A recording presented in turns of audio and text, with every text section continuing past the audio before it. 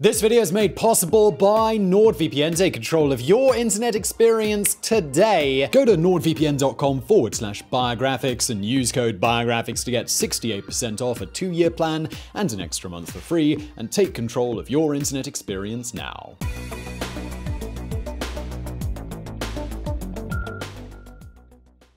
The golden age of piracy is a treasure trove of swashbuckling tales of lovable rogues, scallywags, and rapscallions who merrily blew raspberries in the face of the great powers of the time, living a life of freedom on the high seas. But not today's protagonist. The Brethren of the Coast, the legendary self governed society of buccaneers on the island of Tortuga, was home to many a legendary scoundrel who braved the waves for the love of booty, dreaming about a wealthy retirement. But not this guy. Oh no. He was a complete and utter piece of shit.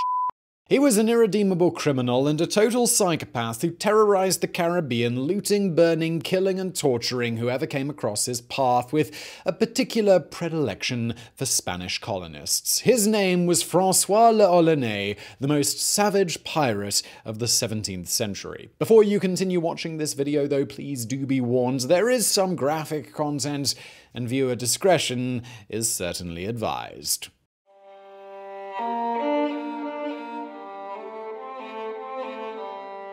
Very little is known about the early years of the boy who became Francois l'Olonnais. We don't know his exact date of birth, only that it was sometime between 1630 and 1635. We know that at birth he was called Jean David Nau, and that he was born in the small town of Les Sables d'Olonne in today's Vendée department on the Atlantic coast of France. And we know that his parents were so poor that they were forced to sell him as an indentured servant when he was 15 years old. The teenage Jean David was whisked off to the other side of the Atlantic, working first in a sugar plantation in Martinique and then under Spanish masters in the island of Hispaniola. This is where modern day Haiti and Dominican Republic are located. For nine long years, Jean endured a life of back-breaking work in the plantation for little or no compensation. He was most likely mistreated and he most likely suffered physical violence. I'm only speculating here, but it may have been at this time that something snapped inside his mind. This is when he may have developed his later sadistic tendencies and his relentless hatred of the Spanish. By the late 1650s, Jean David had earned his freedom as per his servitude contract. He had the option to become a farmer in Hispaniola. Instead, he escaped that community to live among the buccaneers. These buccaneers were originally hunters who roamed the wilds of Hispaniola. They feasted on wild cattle and boar meat, prepared in little huts called boucanes, hence their name. Over time, the name Buccaneer came to define the pirates and privateers who had found safe haven on the island of Tortuga, just north of Hispaniola. Buccaneer and 17th century writer Alexandre Exquemelin described Tortuga as common refuge of all sorts of wickedness and the seminary, as it were, of pirates and thieves. This community of scallywags on the high seas became known as the Brethren of the Coast, a sort of independent rogue pirate state with its own laws and even a governor. When Jean David joined the Brethren, the governor was one Monsieur de la Place. Incidentally, the newbie pirate served as a simple mariner on two or three voyages with more experienced buccaneers. We have few specific details on these expeditions, except that he developed a reputation for courage and cruelty against the enemy. His actions impressed Monsieur de Laplace, who gave him a new battle name, Francois l'Olonnais, which simply means the man from Olonne. De Laplace also gave him command of a ship of his own, as a privateer or corsair serving for the French Navy. Today we might be using the terms pirate, buccaneer, corsair, and privateer interchangeably, but once upon a time there was a fine distinction. A pirate is quite simply an armed robber who works at sea, attacking mainly ships and ports. A privateer, on the other hand, is a pirate who has been given authority by a government to attack and pillage ships belonging to other powers. The government providing such authorization would receive a percentage of the loot. And so the newly minted Captain Francois Le l'Olonnais, with the blessings of the governor of Tortuga and on indirect orders from the French crown, set sail on his first independent voyages. He would soon become the scourge of the main colonial power of the Caribbean, the flail of the Spanish.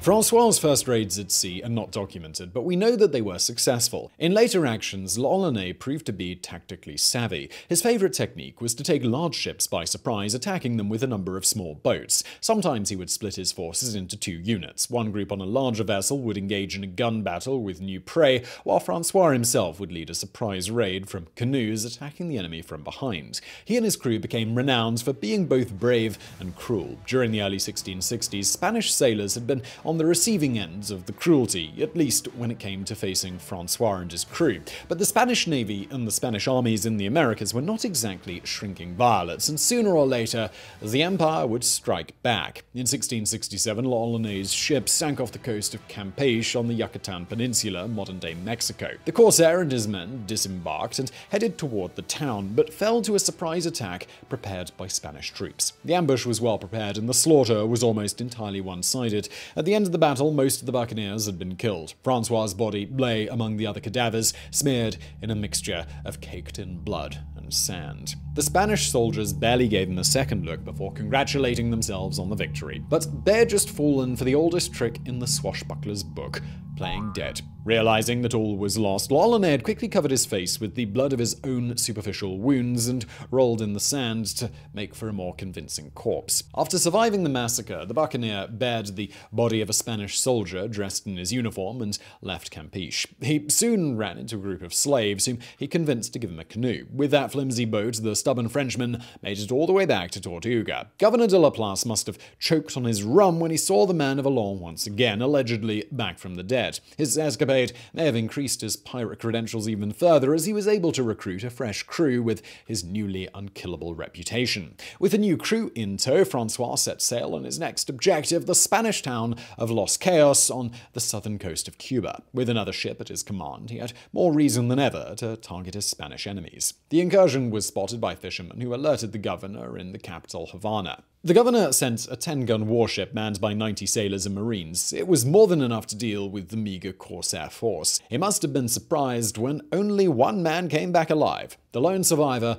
brought back terrible news. The French buccaneer and his men had succeeded in capturing the Spanish warship, taking nearly all the men prisoner. L'Olonnais had then ordered for them all to have their feet and hands tied. The survivors were all made to kneel in a long row. The French corsair slowly strolled along the line of captives with a cutlass in his right hand and a sharpening stone in the other. The blade of the man from Olonne fell onto the first Spanish neck, then a second, then a third. Without a rush, the captain sharpened the edge with his stone and resumed his work. When he finally sheathed his cutlass, 87 heads had rolled off the bridge of the warship. The bloodthirst of the French corsair was motivated by revenge against the Spaniards, but rage did not exactly obfuscate his cold, calculating mind. He spared the life of one Spanish sailor and sent him back to the governor. It was a diabolical move, allowing that one witness tale to strike fear into the whole of Havana. The survivor carried a message from L'Olonnais to the governor. I shall never henceforward give quarter to any Spaniard whatsoever, and I have great hopes I shall execute on your own person the very same punishment I have done upon them you sent against me. Thus I have retaliated the kindness you designed me and my companions. But just before we get into that slaughter, let me tell you about today's sponsor, NordVPN. If you're online, you really should be using a VPN, and that's where NordVPN comes in. I know it's tempting not to bother, sort of just hope for the best, but really those stories you read about people having their data stolen, they do happen.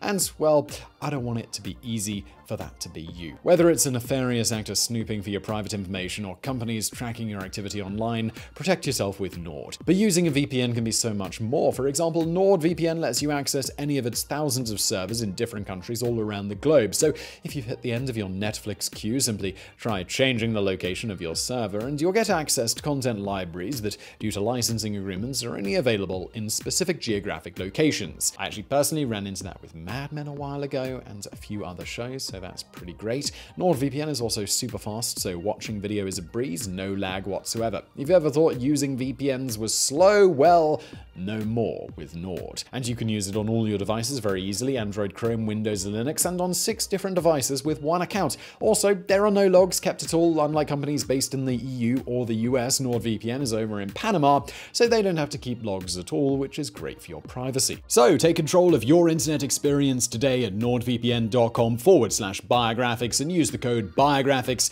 to get 68% off a two-year plan and an extra month for free, and take control of your internet experience now, and let's get back to the video.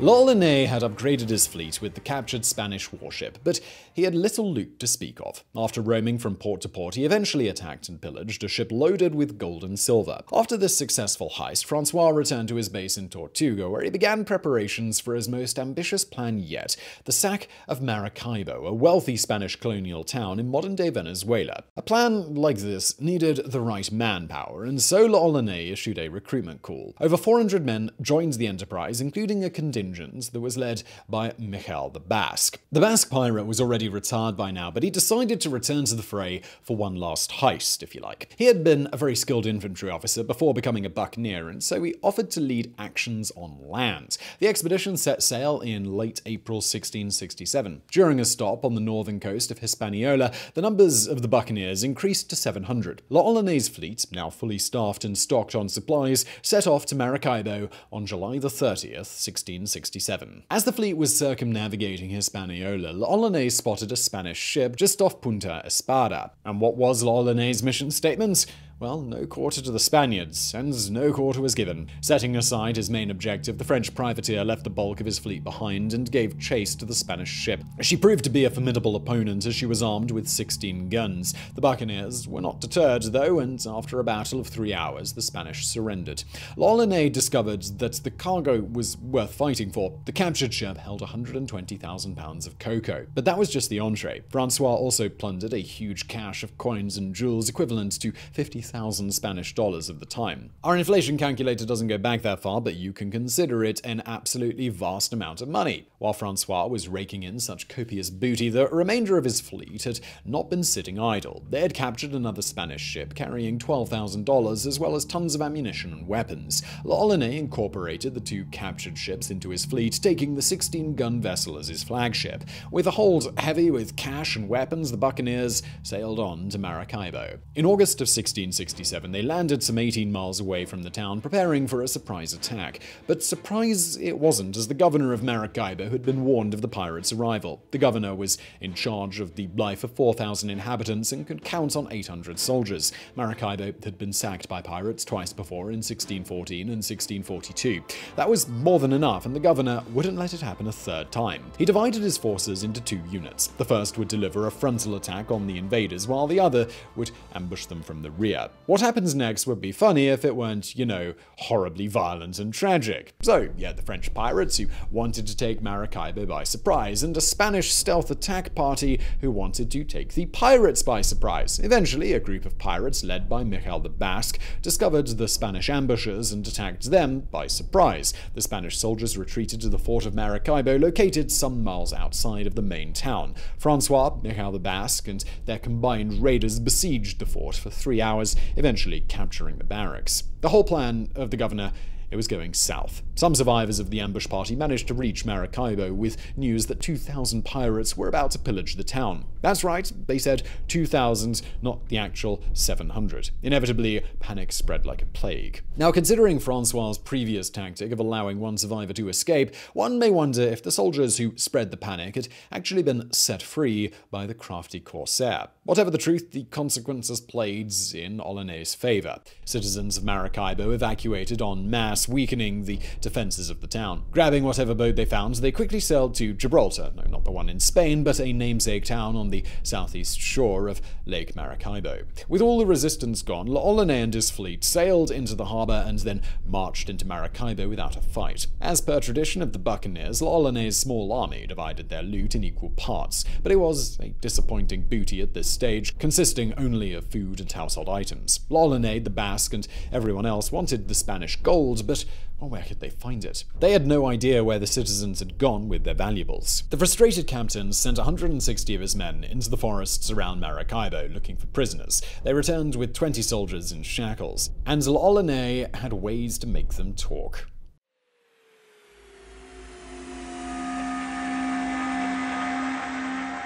Francois' unfortunate prisoners were tied up to a wooden rack and subjected to torture. L'Olonnais personally performed his favorite agony-inducing methods. One of these activities was known as woolding. This first consisted of tying a rope around the head of a prisoner. By twisting a short wooden stick, the rope would tighten its grip, similar to the Spanish garrote. The pressure on the skull and temples of the captives was such that their eyes would eventually pop out of their sockets. Another basic method was simply to cut out the tongue of the victim. Certainly, it did not help the poor guy talk, but it sure motivated his companions to reveal any information that they might be sitting on.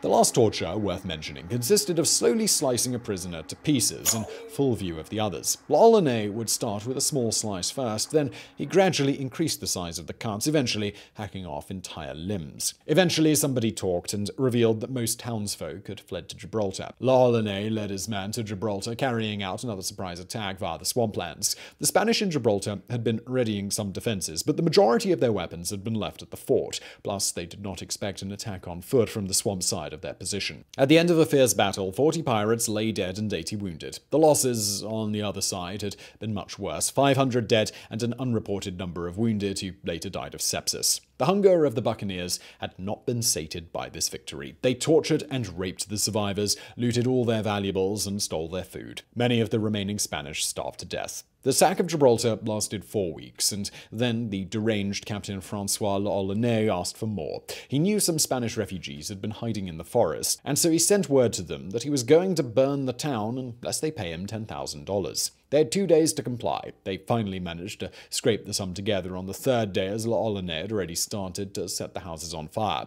After the sack of Gibraltar was over, L'Olonnais led the buccaneers back to Maracaibo. In their first day in town, they had not found much to steal, but they hadn't played the ransom card yet. Francois sent a message to the downtrodden governor asking for $30,000 to prevent the town from being set on fire. After a tense negotiation, the French captain settled on $20,000 and 500 pieces of cattle. L'Olonnais and his crew of rather nasty bastards emerged from Lake Maracaibo and into the open sea after two months of pillaging, burning, torturing, and killing. They had plundered $260,000 as well as gems and luxury goods. When they returned to Tortuga, L'Olonnais was probably the most notorious pirate of the Caribbean. Thanks to the newly earned clout and his new riches, he was able to prepare a new expedition in 1668 with a force of some 700 men.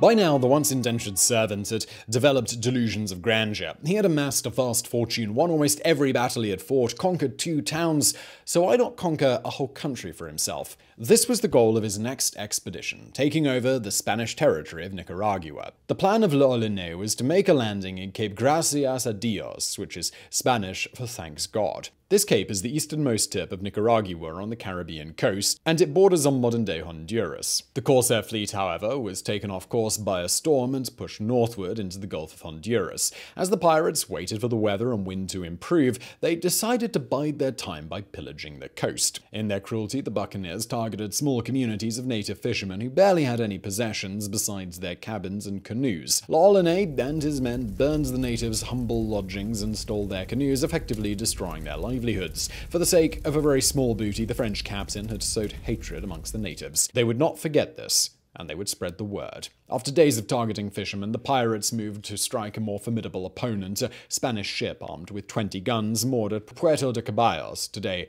Puerto Cortes in Honduras. The buccaneers were able to quickly seize the ship, itself a worthy prey that would make any pirate proud. But it wasn't enough for L'Olonnais. He ordered his men to march inland and conquer the city of San Pedro, some 50 kilometers or 30 miles south of Puerto de Caballos. The Honduran jungle proved to be an emerald hell for both the pirates and their opponents. L'Olonnais was frustrated by the constant attacks and ambushes carried out by Spanish troops hiding in the forest. His men came across two barricaded positions built by the Spaniards offering stiff resistance. In both occasions, they were able to slaughter the garrisons by using rudimentary hand grenades. Those soldiers who were not killed had a much worse fate captivity and torture. This was dictated by the twisted psyche of Francois L'Olonnais Shaw, but it also served a purpose. The captain had realized that his men were completely encircled by the Spanish troops. He needed to extract information on their location so as to reach San Pedro, avoiding further casualties. L'Olonnais interrogated the prisoners taken from the barricades, but they would not reveal the positions of their compatriots.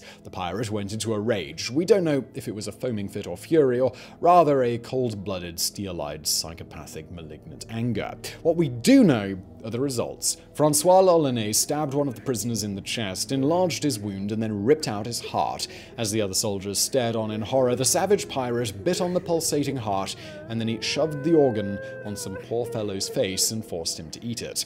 He then addressed the other prisoners I will serve you all alike if you show me not another way. The remaining captives confessed. There was a way out of the Spanish encirclement, but it would have been very difficult to break it. After a further battle, the Corsair expedition managed to take San Pedro, but it was a Pyrrhic victory. Their lines had been thinned by the constant harassment from the Spaniards, and most of the inhabitants had fled with their possessions. L'Olonnais had San Pedro burned to the ground and then marched his men back to Puerto de Caballos. The buccaneers at this stage were close to mutiny, but Francois managed to keep up morale by promising a rich loot. One of the prisoners had told him about a large Spanish ship due to arrive in harbor within three months. They waited patiently until she showed up, armed to the teeth with 41 guns and 130 sailors. L'Olonnais applied a simple yet effective tactic. He targeted the Spanish ship with cannon fire from the tallest buildings of Puerto de Caballo. The artillery on board responded to the fire, but the Spaniards did not notice the four canoes bursting with pirates approaching from the starboard side. The corsairs boarded the ship unseen, taking the Spanish sailors by surprise.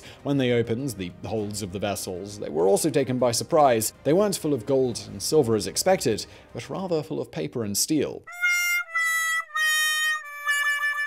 The disappointment finally broke the crew, which splintered into three factions. Two groups left Honduras, one returned to Tortuga, the other went around the Caribbean, seeking more ships to plunder. L'Olonnais and 300 men decided to remain in the Gulf of Honduras, but it immediately appeared as though their luck had run out. During one of their first outings, their ship ran aground on a sandbar. For six months, L'Olonnais and his men were stuck on the coast of Honduras, trying to free their ship from that trap. All the while, they had to defend themselves from the incessant attacks of the local tribes bent on revenge after the early raids of L'Olonnais. Week after week, their numbers dwindled until eventually only 150 were left alive. Francois realized they had no hopes of escaping the sandbar, so he had the ship dismantled and he ordered his men to build some barges. With their new boats, the buccaneers sailed southwards along the coast towards Nicaragua. But now, in a reversal of fate, it was the Spaniards who gave no quarter, chasing La L'Olonnais away from their territories. The buccaneers had no choice but to continue their journey southward. In desperate need of food and fresh water, La L'Olonnais and his few surviving pirates landed in the area known as the Darien Isthmus.